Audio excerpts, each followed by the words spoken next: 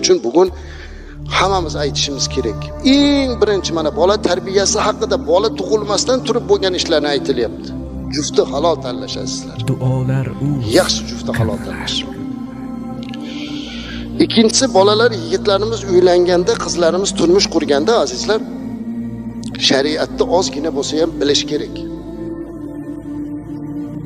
Bitta narsa bor man uzr so'rab aytaman kattalar o'tiribsizlar mani tajribamda shu narsa ko'p bo'lyapti ko'pchilik shuni bilmayaptida mulohaza qilmayapti.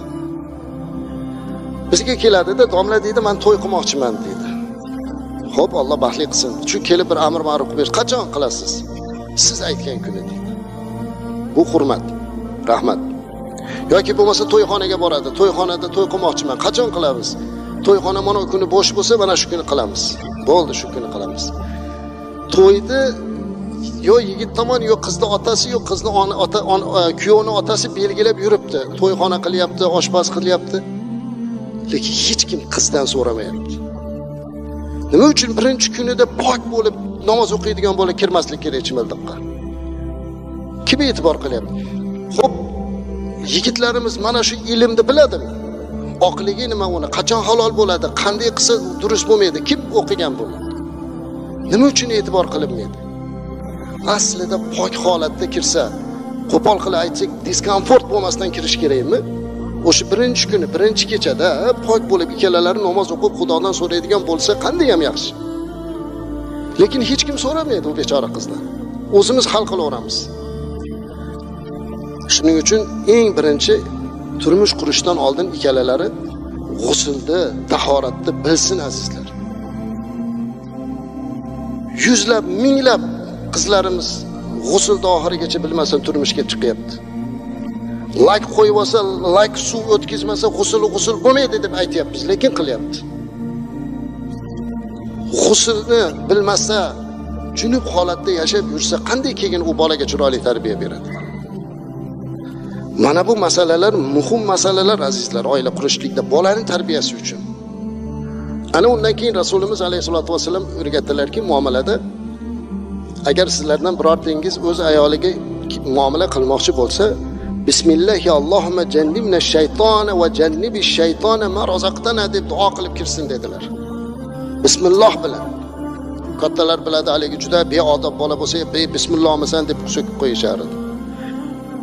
Bismilloh bilan bo'lsa o'sha kirishda uyiga kirishlikda doim o'zi shu duoda aytib kirish kerak azizlar. Ko'rpaga yotayotganda doim shu duoda aytib yotaverish kerak.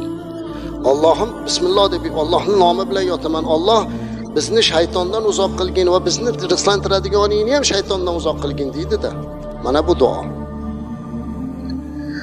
Uchinchi qoida bolani tarbiyasida kerak bo'ladigani azizlar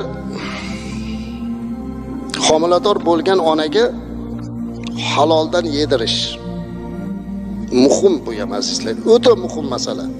Chunki rasulimiz alayhissalotu vassalam aytadilarki لا يربو لحم nabata من سخط min suhtin illa kanat annaru avla bihi deydilar qaysi go'sht qaysi go'sht haromdan ulg'aysa jahannamga kirishiga loyiq bo'ladi dedilar hadisda qarang bu imom termiziy rivoyat qilgan ekan bu hadisni qaysi bir go'shtiki haromdan katta bo'lsa u jahannamga kirishga loyiq bo'lib qoladi bola homila holatida turganda onani yaxshi halol yegizishga harakat qilish kerak. Bir yurtni qozisi qizini eng taqvodor odamga beraman debdi. Odamlarga aytibdi menga shunday bir taqvodor odam topinglarki halol bo'lsin. Maqsadim o'g'lim yo'q shu bitta qizim bor shu qizimdan bir yaxshi zurriyot dunyoga kelsin olim bo'lsin qori bo'lsin. Hamma izlabdi oxiri kelib aytibdiki taqsir sizni o'zingizni qo'lingizda xizmatkor qul bo'lib ishlaydigandan boshqa taqvodor topolmadik. Shu ekan eng taqvodor. Mayli debdi. Shunaqa bo'lsa ham beraman ozod qilaman xizmatidan ham hammasidan qizimni beraman evaziga. Haliginga shunaqa degan ekan rozi bo'libdi qizini nikohlab beribdi. Oradan bir necha kun o'tibdida qiz sekin yig'lab onaga shikoyat qila boshlabdi. Onajon mana xizmatkorga berdinglar qulga berdinglar rozi bo'ldim mayli lekin mana bir hafta o'n kun bo'ldi. Mana oldimga kirmaydi kuyovinglar o'tiribman alohida u alohida. Nimam yoqmadi nima kamchiligim bor deb yig'labdi.